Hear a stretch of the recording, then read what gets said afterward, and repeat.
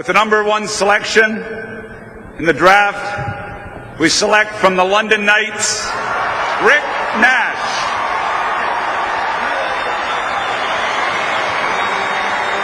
The Columbus Blue Jackets select Rick Nash.